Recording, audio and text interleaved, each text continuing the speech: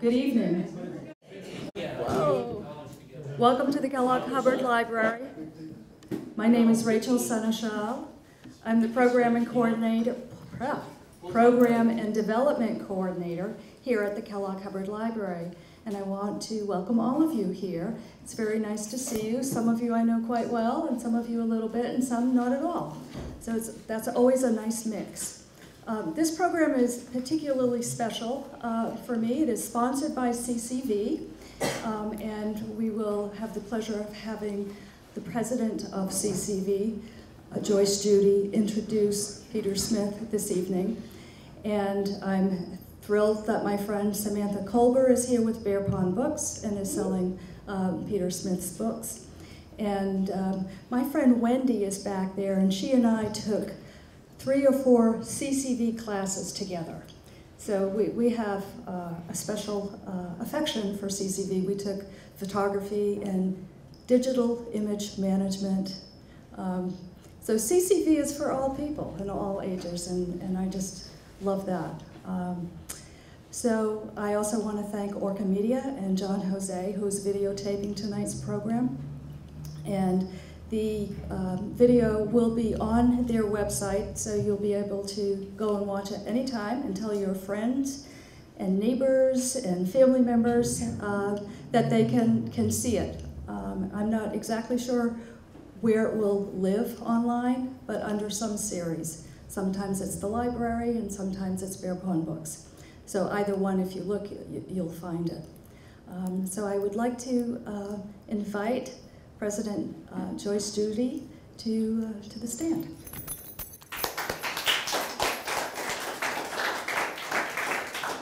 And thank you, Rachel, and thank you for inviting us um, to co-sponsor this with Bear Pond Books. It's, um, it's really, truly a pleasure. And it is an amazing opportunity for me to introduce our founding president, Peter Smith. It, hit the core values of accessibility affordability, innovation, and the importance of the adult learner have been part of Peter's thinking and development for 50 years. And those are the same core values that he instilled at CCV when CCV was founded in 1970. We are soon to celebrate our 50th anniversary, which is quite, quite amazing. Um, yeah. So Peter, you've been at this for a long time. Um, but you know what? As I was thinking about tonight, I, I am pretty certain that Peter in 1970 could never have imagined when they started with 10 classes and 50 students here in Montpelier that today CCV would be, this fall we are enrolled, we have enrolled 6,000 students in 850 classes and a third of those classes are online. So we've gone from a teeny little institution, Peter's sort of vision, to today the second largest college in the state of Vermont. And we serve more Vermonters than any other college, which um, when Rachel was talking, it is for everyone. You will see whether you're in a class of photography or English comp or whatever. You'll have 17 and 18 year olds who are in classes for dual enrollment. They're still in high school taking a college course. You will see we serve a lot of veterans. We serve career changers. We serve people who are senior citizens who are looking to either pivot to a different career at that point in their life or just want to pick up a skill. And then we also see people for whom never they never thought that college was possible, and all of a sudden they've decided they want something better for themselves and their families. So you see just a huge diversity. So, um, so CCV has become a force in the state of Vermont. We have 12 locations. We're in each of the 12 labor markets. And um, you know, we I still so believe that we are built on the same bedrock that, um, and we continue to, to flourish on the same bedrock that um, Peter thought about um, when he and Governor Deane Davis um, helped to found. Um, but Peter has had a really long and distinguished career in higher education. But I think the thing that's for me that sets him apart from other people that have spent their life in in higher education is that he really has a passion for innovation. He is always pushing the envelope. CCV is an example. But throughout his career, he has always been sort of pushing that envelope. And so, just as for people who don't know this, and this is why I had to bring some notes because it is long, I could never have mem- memorized this. So, here's some highlights from his, career, his professional career. I think many of you in this room probably know that he was a state senator here from Washington County. He also served as lieutenant governor for Vermont. Then he was um, Vermont's congressional representative um, to the U.S. House. Then he got into academia, left academia, got into po- political life, came back to academia. He was dean of George Washington University's Graduate School of Education and Human Development. He also then founded CCV, but he also founded um, the California State University at Monterey. So he's had the distinguished pleasure of, of creating two colleges, one in a small, teeny state and one in a really big state. In addition, he was also the assistant director um, for general, general for education of UNESCO, for people who don't know that, United Nations Education, Scientific, and Cultural Organization. He also served as senior vice president at Kaplan. But today, he is currently the Orkand um, Chair and Professor of Innovative Practices in Higher Education at the University of Maryland University College. And I believe, Peter, if I counted right, this is your fourth book um, that you've written um, on higher education. But what I think is really important about this book is it really draws on and connects his whole career. It talks a lot about um, how important it is if we are going to continue, that higher education continues to need to be innovative, flexible, and will look more like the CCV that Peter created than what we have come to know, um, what we see in a lot of higher ed institutions. So to read to us tonight from Free Range Learning in the Digital Age, the Emerging Revolution in College, Career, and Education, please welcome Dr. Peter.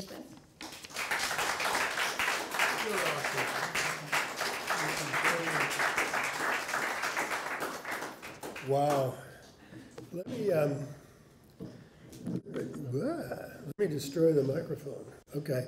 Um, reinforce one thing that Joyce said, and, you know, it was one thing to have the idea and to have the great opportunity to work with an amazing group of people in those first seven or eight years, but none of us had a clue as to what it could turn into. And it's because of people like Tim Donovan and Joyce, and I think remarkable staff, and frankly, Vermont State College's boards, uh, who have been consistently supportive of uh, a notion that was so far out of the mainstream at the time that it was almost hard to find it with binoculars.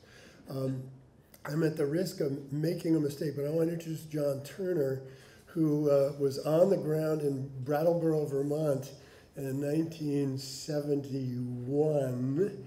And you want to talk about nasty. He was really, he and Tom Yan and those original people down there, they were really amazingly um, courageous. And so this is, uh, I love my role. You know, nobody's ever asked me to run a university or college. They've only asked me to start them. And there, there's a reason for that. because it, I make, I say, I make snow, and then people like Tim and Joyce and John and everything, they make snowballs. Uh, but my job is to help create the snow.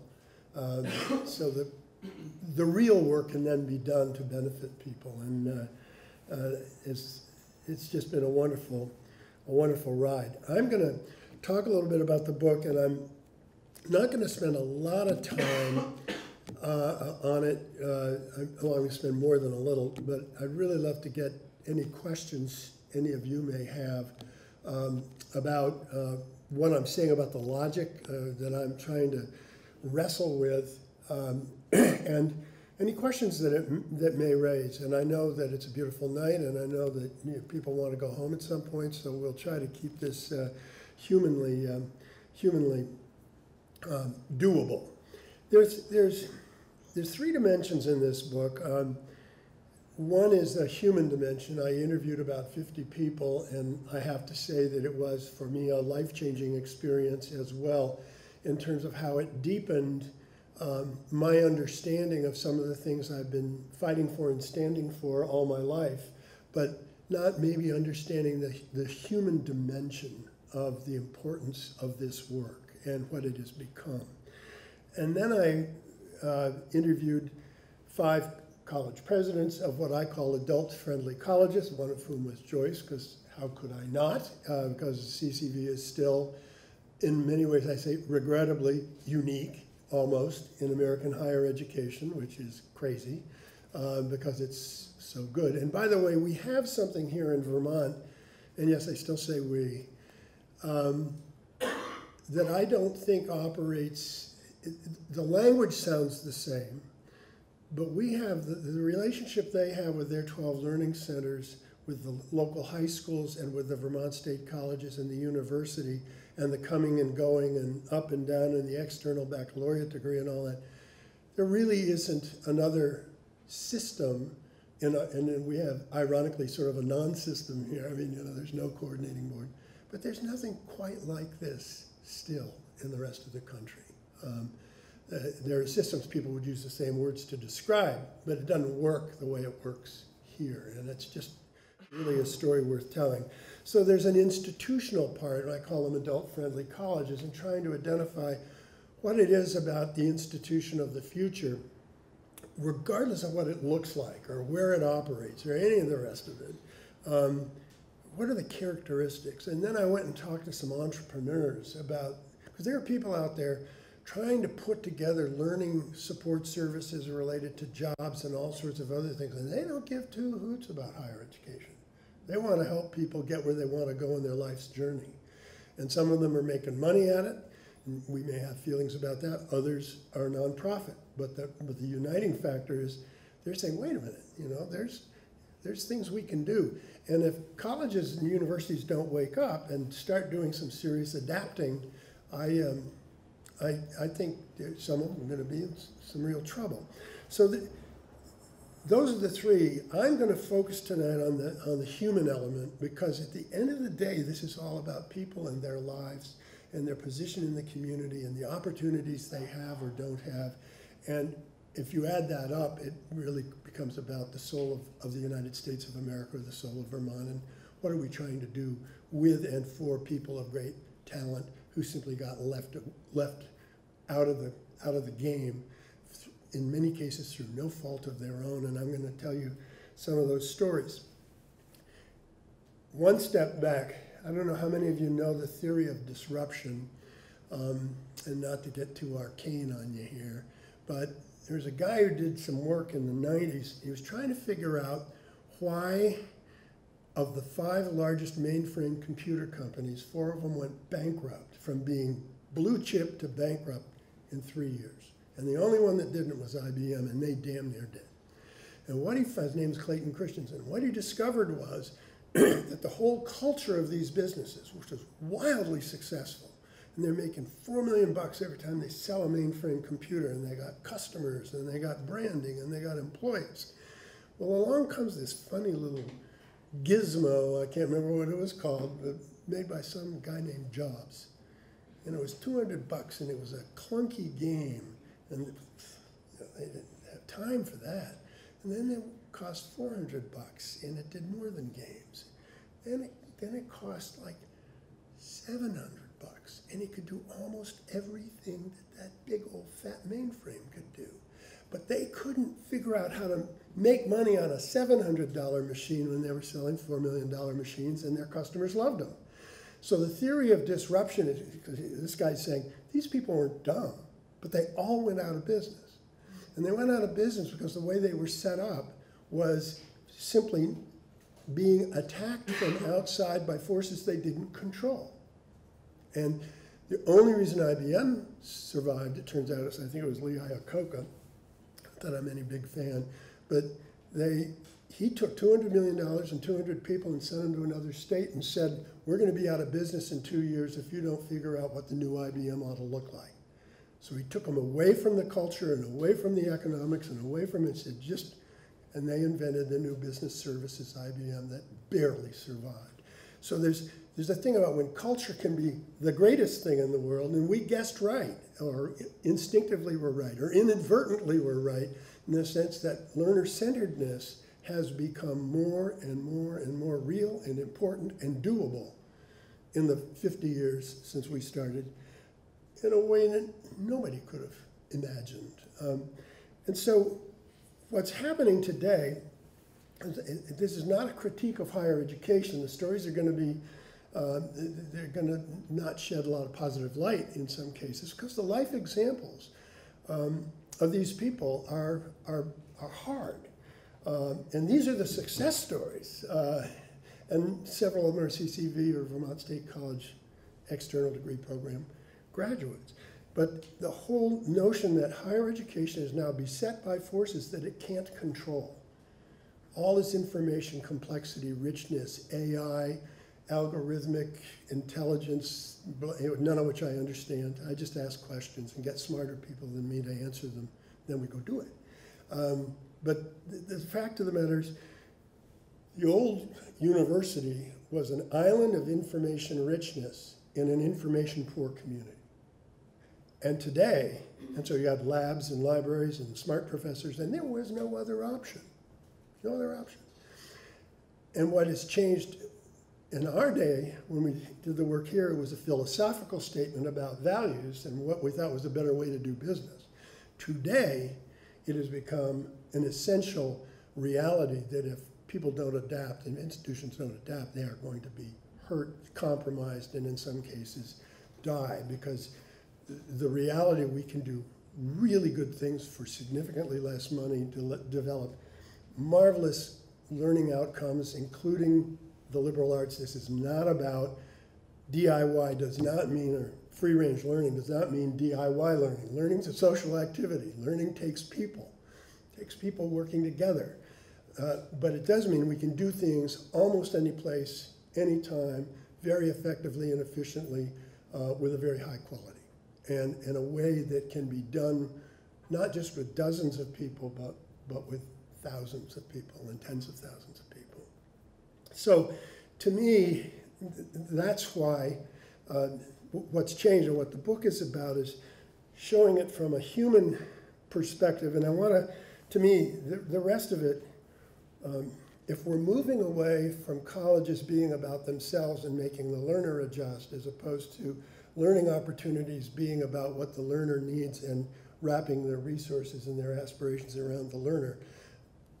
And you know, are there some exceptions? Sure. I mean, do I want a brain surgeon who learned, you know, informally? Uh, no, probably not. Or an engineer. Of course, there are exceptions, but for the vast, vast majority of people, we can do things in a way that we could never have dreamed of before. There are some terms that I employ in the book uh, that I want to just describe. First is called personal learning, and personal learning is all the learning you do in your life, uh, whether it's in a college or in the military or in a club or informally. It, it is the whole uh, aggregation of, of everything you do and how it affects you. And the thing that's interesting is a fellow named Allen Tough, who recently passed away, unfortunately, a Canadian researcher, and he identified, which has been, has been proven again and again and again in a, studies that started in the mid 60s, the average adult in America, but it's also true in, on every other continent, spends more than 700 hours a year learning things purposefully. Now, divide that by 50, just to keep it simple. I know there's 52 weeks, but divide it by 50. That's a lot like 15 hours a week. Doing something focused that is going to, because you want to, because it's going to change you. And if you think about it, our folk culture, ooh, that was my knee going away. Our folk culture promotes that. Live and learn, school of hard knocks, older but wiser. But we don't know how to convert it. Do it CCV, but in general in American higher education, they don't know how to convert all that learning to value, to academic value and to social and civic value and to economic value. And to me, the other thing that Tough found out is that for all the learning people do, they forget that they know it. So, and you think of it, it goes in there and it structures who you are, and you're always changing and growing. But you, you can't say, well, yeah, in 1972 I learned uh, about China. You know, you don't remember that until you're asked to go back and think about all those experiences And I'm going to read you a couple of stories about what happens when people understand. And my first, first time I really got a picture of this was when our first graduation, which the sergeant at arms in the State House regretted as long as I knew him, uh, because it was 95 degrees and we were using chairs from the inside, you know, those folding chairs out on the, the, the tarmac, and they all sunk, they all sunk into the pavement, into the tar, and then we pulled them out, and all the rubber stoppers on the bottom of the chairs. So it looked like it'd been a pogo stick convention for, for eight graduates. He was not, ha- Reed Payne is his name. Uh, I'm sure he never forgot me either. Um, but this woman, Nancy Burns, came up to me and she said, she ran a child care center in Montpelier, and she said, thanks for the degree and thanks for the classes, you know, and thanks for the assessment of prior learning. But she said, what I really want to thank you for is that now I know I'm a learner, and I've been a learner all my life, and I'm never going to stop learning. And I thought, holy, well, I won't tell you what I actually thought, but holy, we'll go with holy moly. Um, because she had become a reflective person in the process of going through her assessments and her learning. And once you learn the power of reflection, which I expect most of us in this room have developed formally or informally, you are, you're a learner. You're beginning to extract meaning from everything you do, good or bad, happy or sad. You're beginning to be more in charge of understanding the consequences of things that you engage in.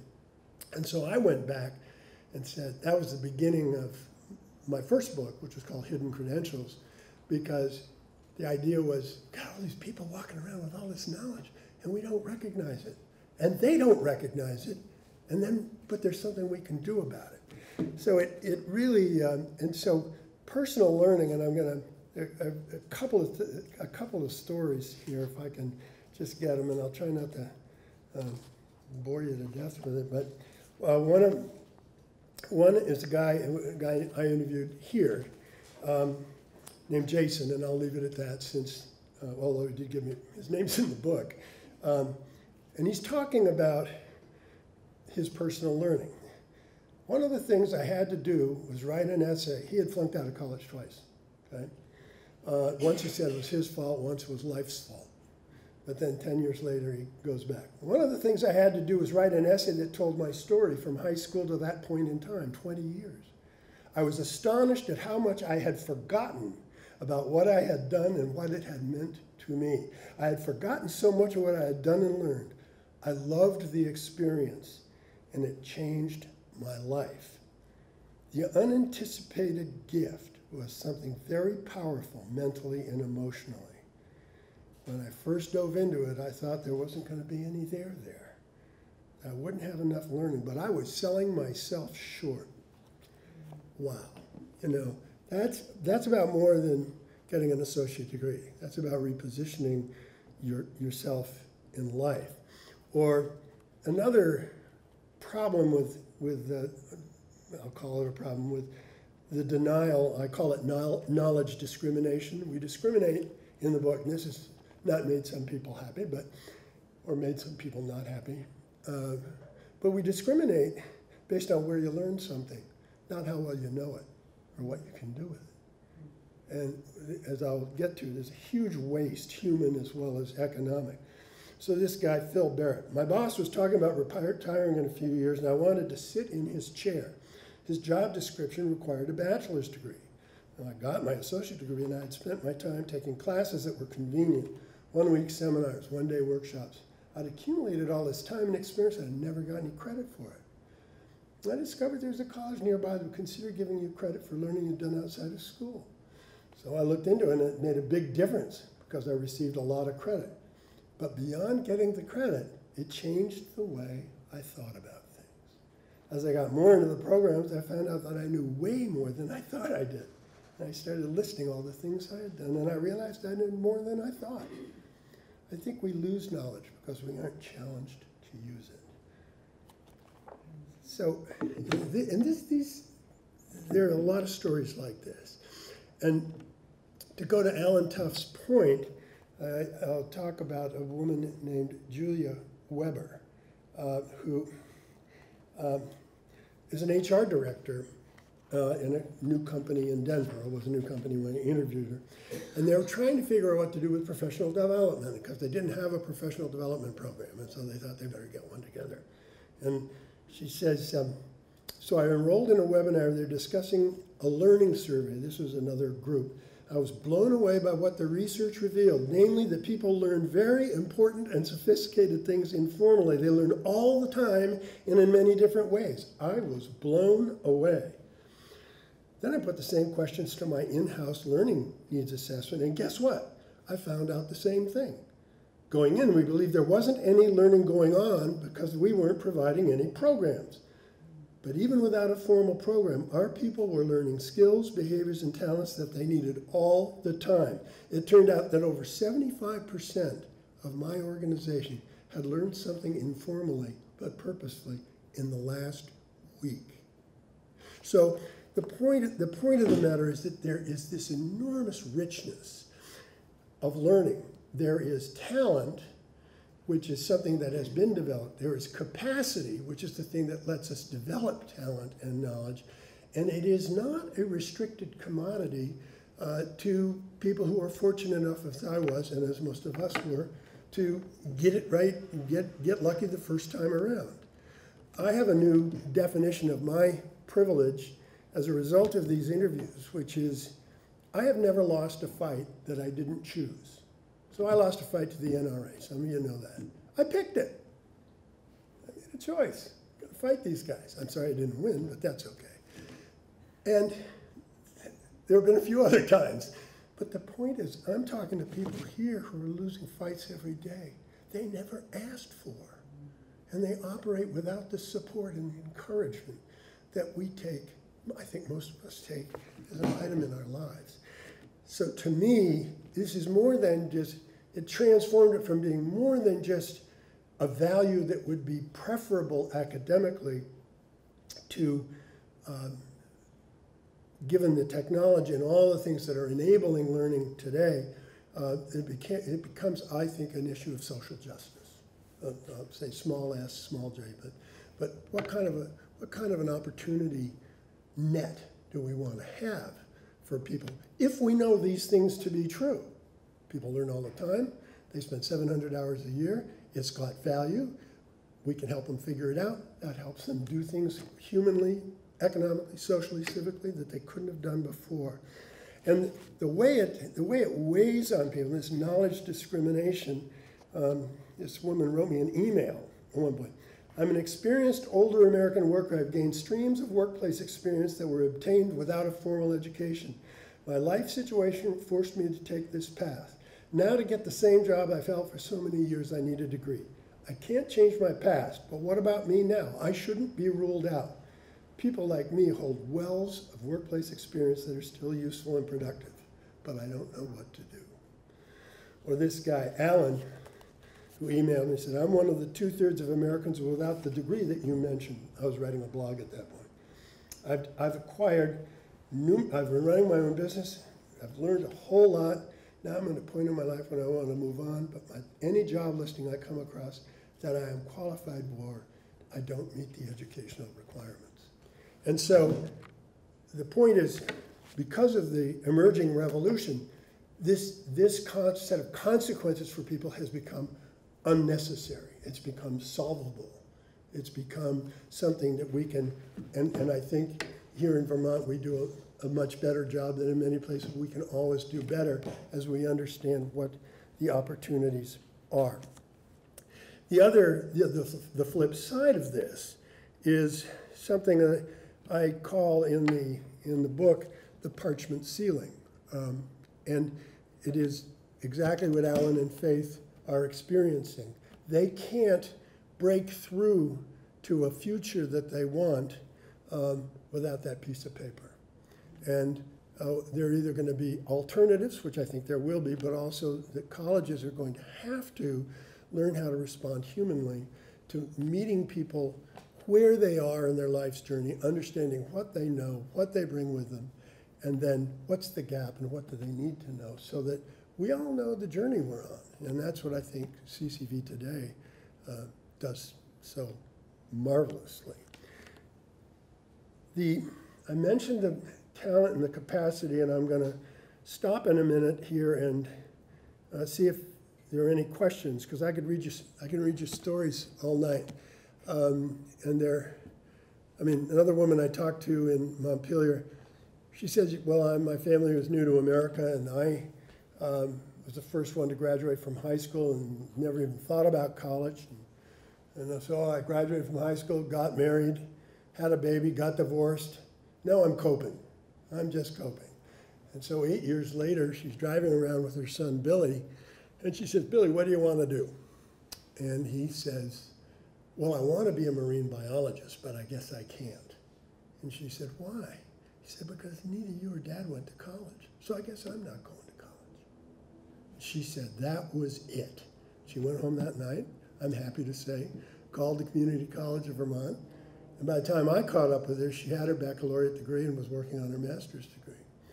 Uh, but, and I said, so what's up with Billy? She said, oh, he's a senior in high school. He's going to the university next year. And I said, what's he going to do? He do marine biology. She said, no. I said, well, well what happened? What's he going to do? She says, oh, he's going to be a civil engineer. He's changed. But what you see, and if you think about it, we've all been, I know I've been through it, and I write some of my own personal experiences. You come to a turning point in your life where you know that if you can, you've got to do something. And how you handle that, how you're able to handle that turning point, for me, leaving the United States Congress was, to put it mildly, a pretty major turning point. And I had mentors and friends like Sister Janice Ryan, and I write about who helped me understand what was up and what I might do and what I might not do. But there's all these other people don't have friends like Sister Janice Ryan or other people to help them sort this stuff out. Uh, and so you, you come to a turning point, and if you can use you, learning of any kind, it's usually negative, you can have a powerful transition. That's what Nancy Burns was talking about. It's what Jason DeForge was talking about. It's, it's what, it's what um, Kelly Lawrence was talking about. And these stories are all people who got to a point where they said something's got to change. And they were able to reach out to an adult-friendly institution and get the support they needed to make the change. And what I'm arguing here is that these very drivers that make this possible can be adopted by employers as well as institutions of higher education, and we can do miraculous things with people that were probably, at scale anyway, impossible um, 45, 50 years ago. I mean, we used to assess prior learning, and you know, people would walk around with huge cartons because, I mean, Xerox machines were brand new, and dial phones were it. I mean, so we, we, you know, the paper guys loved us. Now you can do that all online. You can get great job information online. You can do gap analysis. You can do all sorts of stuff. So the point is um, that we have the ability. I think the thing, we think about this is all the right thing to do, a good thing to do, um, maybe a moral thing to do. Uh, I agree with all of that. But in terms of the, the good of the country, and I don't know the Vermont data, so, um, and those of you that know me know that I have a way of sort of doing things on the back of a matchbook and then saying voila. So I'm going to do a little of that. There are 60 to 90 million people in this country with a high school diploma and no college or some college, but no degree. There's an argument about how many, but it's a lot. So let's take 60 million. We know there are 6 million jobs that are unfilled, going begging. We also know that, and I can't put a number, so I'll leave them out, millions of people are underemployed. And because of the things we're talking about here, we can't upskill people in the workplace because we haven't, the traditions of the, uh, how we treat and educate the workforce haven't changed in too many cases. And I know it's something you're working on, which I think is really cool. So let's say, and the, and the data is something like, if you got a certificate after high school, you're gonna make six thousand dollars a year more. You got a associate degree, you're gonna make eight or nine or ten thousand more. If you got a BA, you're gonna make twelve or thirteen. Well, let's just take ten thousand as an average. okay? Pick five if you like.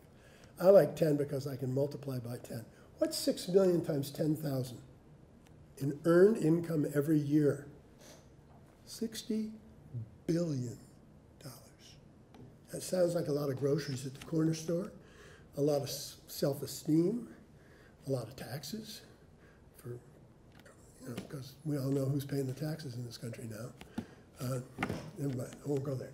Um, But the point, but the point is, all that talent, that wasted talent, has a cost. It's a human cost, it's a social cost, it's an economic cost. Self-esteem, earning, the whole thing. Now, I know the picture I just painted is not realistic in the sense that there are a whole lot of other reasons why those jobs are vacant. But the opportunity we have to add human value, respect, economic, social, civic value to the lives of our communities, and in so doing, enrich the base of those communities, is awesome.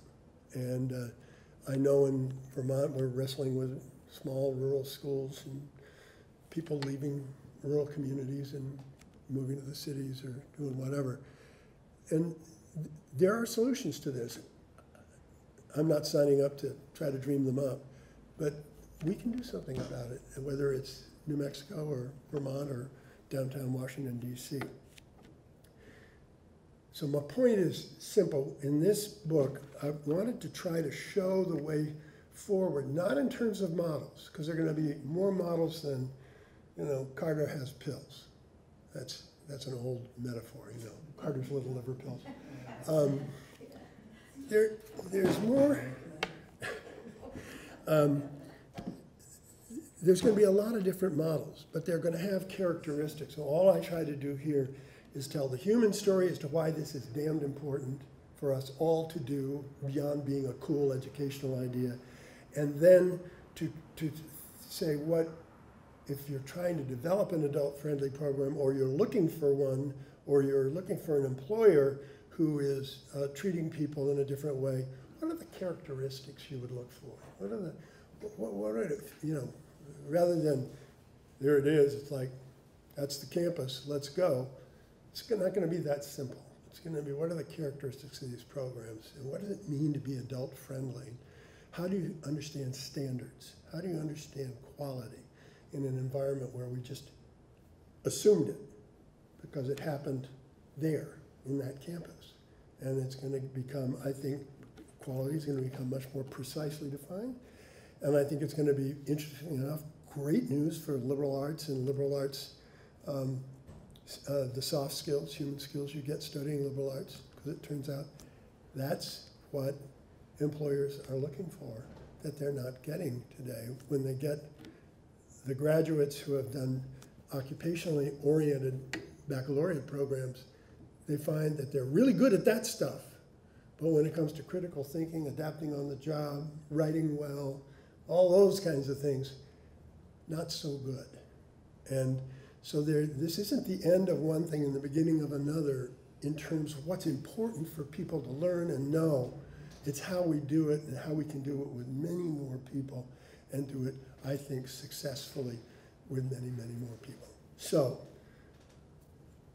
as those of you who know me know, I could go on for another hour and a half, but uh, out of respect for all of you, I'm not going to do that. And I'd love to take any questions or thoughts or disagreements. Yes. Um, I'm, I'm thinking, I have two thoughts. Um, and if you agree with those two thoughts, then I'm looking for a model that brings those two together. There was a time when higher education was for the elite. And with the cost of education today, it almost feels like we're going in that direction again, if we're not there already. Um, so what I'm hearing from families is that they're encouraging, this is Vermont mostly, uh, I can't say, you know, nationwide, but, uh, that they're encouraging their kids at looking at a two-year, going to community college for two years and then transferring to get their bachelor's degree. Yet, mm, having worked with adult learners myself, I know many who went to CCV. And what was, the- there were many things that they valued, but one of the biggest things that they valued were other people their age. And so they could, you know, you, you had people who were motivated, and it's not to say that eighteen-year-olders, I'm not saying that eighteen-year-olds are not motivated, but they're very different mm-hmm. learners than those who have worked for a while and are going back to school. So what does that model look like then? If you have kids who are going two years, let's say community college at eighteen, and then you also have these adult learners who want to be with adult. with Um, I'd say it's lucky for the kids. Uh, seriously, I think the average age of a community college student is still high twenties, low thirties. So it's come down a little bit. But the, the fact of the matter is, if you think of a, a perfectly capable high school graduate, and you put them over here for twenty-five thousand dollars a year, I'm making the number up, with a whole bunch of other people their own age who don't quite know what they want. Or you can put them over here for five thousand dollars a year with a whole bunch of other people who are very purpose-driven and trying to figure out what they want. I would argue that that second is a much better learning environment for them. And the mistake that any college could make um, would be to start organizing their services around the 18-year-olds inside the pedagogical environment and the assessment environment, um, in which case they would become less friendly to adults. That would not be good, but if they can figure, uh, I think, see it as a strong learning relationship and situation for the younger people precisely because of who they're hanging out with. Jason DeFord said a really important thing. He said, I learned um, computer, uh, and I learned how to work computers at the print shop I worked at. And then I assessed and I got out of, I'm gonna make the numbers up, I got out of computer 101 and 102. So now I'm in computing 103. And I'm doing just fine, he says. But he said, what's really interesting is the other people in the class who've learned it all in school don't know how to do it. I know how to do it. They know it. I know how to apply it. It, was just, he said it so, he said a lot better than I just said it. But what he, what he was saying is that if we could get to a more problem-based, project-based learning, and I actually think the workplace could be the learn place of the future. Well, why not? If I'm working on a strategic plan, could that be part of a learning experience? Or if I'm learning supervisory skills, could that be part of a learning experience? Yeah, I think so. So it, I think that, that the workplace is going to be um, going to be an important part of the learning terrain. I don't know what your experience here is at that, this point, but once employers begin to figure some of these things out, I think it's going to be. So I think good concern could be done poorly, but um, at the end of the day, um, the, the other thing I will say, we saw this, I never could get my hands around the information until I was in California. And we had people leaving in the first two years, and I thought that's, you know, they, they're, they're called dropouts. So we went back and talked to people, and it turned out, yeah, for some, wrong fit.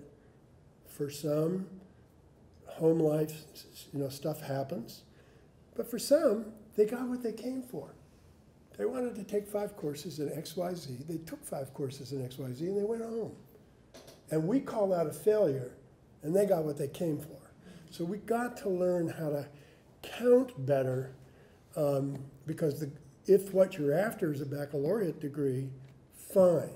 But if what you're after is a personal or professional learn or occupational learning goal, you know, that is very personal to you, and you meet that goal, that should be, a- that should be called a success, not a dropout.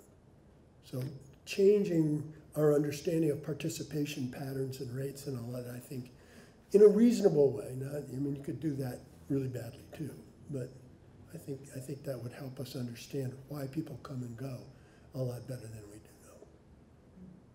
Hope that's helpful. Yes, sir. So uh, you, you, in the book, you, you make a reference to the parchment ceiling.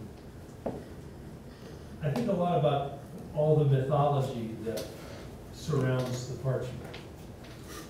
The mythology from the learner about what it means or could mean um, in a, in a, in a, um, in a, in an economy where um, few jobs are chasing lots of candidates, I think it, it- there's a mythology that it means that it's a, that's some sort of a benchmark that has more meaning than it does.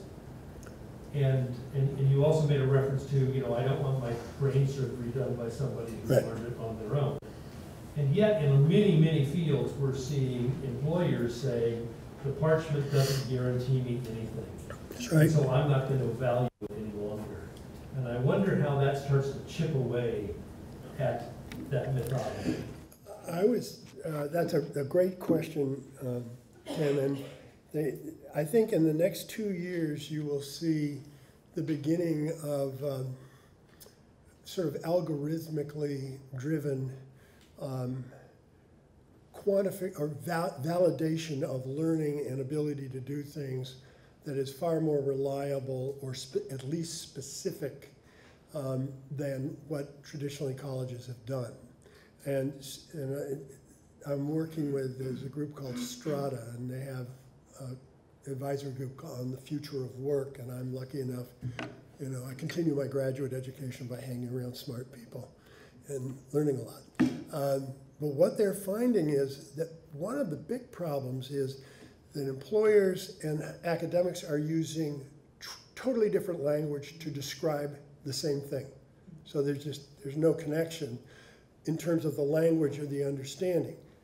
In both cases, neither are being rigorous enough in their breaking down what it is they really want in terms of job holding skills, which are more of the liberal arts, cross-cutting, soft human skills, job getting skills, which are the techni, you know, I can do accounting, whatever it might be. And they need both. Um, and so what people are working on, there's a group called Credential Engine that now has something like 35,000 certificates in an active uh, database, and they're trying to figure out the algorithmic ways to read it. And, but the idea being that there will be a common language that will also be hierarchical, that will explain the value of something you know or are able to do. And if you think about it, all that information about me or you or anyone, it's the same data. Over here, you're using it for academic requirements. Over here, you're using it for employment requirements. But if you can figure out the translations, you can do a much better job. Now, danger, stranger in the whole thing, is that we get so artificially structured that we, we suck all the life out of everything. And I, for one, uh, don't want the government to set those standards. Uh, you know, I don't mind if there's some competing sets of standards and there's a robust discussion.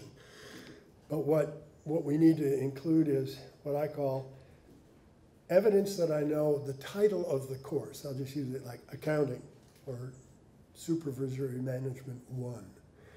And then we need another set of outcomes that are how do I employ that knowledge? Project-based, problem-based. What have I been asked to do that then creates evidence that I not only know it, but I can apply it, right? And then there are some more behavioral things, like when Peter Smith was a sophomore at Princeton, he thought he was going to be a diplomat. And um, this nice man in the Woodrow Wilson School took me aside and said, You know, Peter, I, I really don't think you're going to make a very good diplomat. I think you probably ought to think about something else. I was crushed, but was he right or wrong? He was dead right. It was, and that was a behavioral analysis because he cared enough to get to know me, and that was a wonderful part of my life there. And just knew instinctively that that was not going to be a good, very productive match. So, but we can do that now. Gallup has a has a thing called um, Strength Finder, or whatever it is, there, where you can actually learn the way you process information and how that affects your behavior. So, I mean, surprise. Well, this might part might be. I'm ADHD. Never knew it. You know, what a shock. Um, never knew it until I was 50. So I was having a little trouble on my job, so I went and got diagnosed. And um, so what happened was the guy said, um, do, you, do you like to draw attention to yourself? Do you like to advocate and make speeches? And he just started asking me a whole, and I said, yes, yes, yes. And I said, why? And he said, because that's the way you organize communication. Because if you're in a crowd and you're not organizing all that noise, it's just noise and it's almost painful. But if you can organize it so you're always doing the back and forth, then you can handle it. Well, that made me feel better for all the times I know that I had done that. And, and, uh, and but there are, my, point simply is that it, that when you understand how you process information, and there are something like 35 ways you make sense out of the world, and everybody has five ways they do it most of the time, and of those five, two are the way they really do it. And if you understand that kind of stuff, which is soon going to be available contextually to anybody who wants to do it for a tiny amount of money, you can understand why Peter Smith wouldn't have been a good diplomat or airplane pilot or certified public accountant. Because he never met a detail that didn't drive him crazy. And when that wasn't elected, it was just the way I came onto the earth. You know, so there's all these things are gonna, I think, be available at finger at the fingertips. And the question is, huge question is, how do we handle it humanly, so that we don't get caught in a world of algorithms um, that tell us things like, if somebody had told me I was a good salesman when I was 16, oh, maybe I would have gone into real estate. Well, you know, part of what I did at CCV was sell an idea. So I, I'm pretty glad I didn't take all these assessments when I was 16.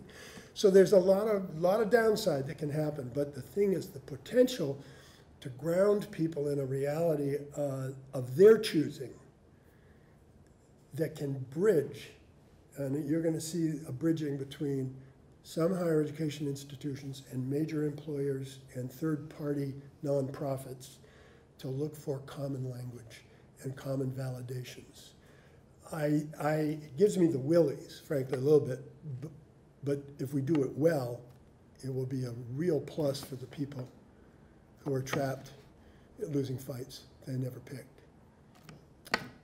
Other questions? Got to say, my uncle Jeff is here.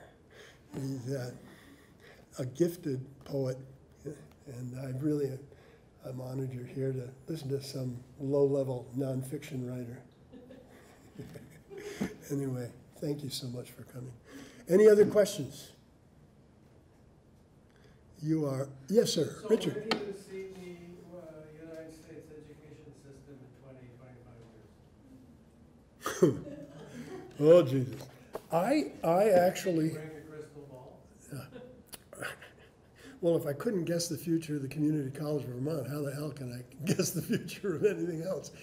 Um, I think what you're going to see, Clayton Christensen, who's the disruption guy, predicted that 50% of all colleges will be out of business in 20 years. I think he's wrong. When Uh, he predict? about three years ago. Um, and I understand, I mean, there is a serious disruption. But what you're going to see is some colleges, frankly, aren't going to do anything. Princeton would be one of them. But what Princeton and Northwestern and Chicago and the Columbia School of Physicians and Surgeons have all done is create a debt-free graduation for any student, because they got the endowment to do it. So at Princeton, I'm proud, one of the few things I've been really proud. That is a lot.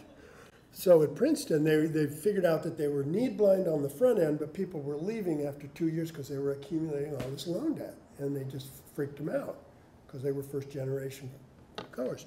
So they made the commitment that if you graduate, I believe it's in five years, we will pay every debt you have within a circumscribed amount, you know, room, board, tuition, transportation, all that. We'll pay it off when you graduate. And Northwestern, I believe, has done the same thing. Uh, Columbia Physicians and Surgeons, too late for my son Ben, unfortunately, has done it. So there, that's an adaptation to what we're talking about. They got the money to do it, okay? It doesn't solve the problem. Then you'll have adapters who are gonna adapt their programs, and they're gonna, and you're gonna see, I think, many more low residency programs and you know, technologically enhanced delivery systems, and I think there may be some of the solutions for Vermont's rural K-12 system in there. Um, But it's gonna be institutions that say, we gotta do this to stay relevant, and they're gonna have some that go out of business. And in the meantime, like if you wanna have, um, one example, there's a new university or college called Minerva.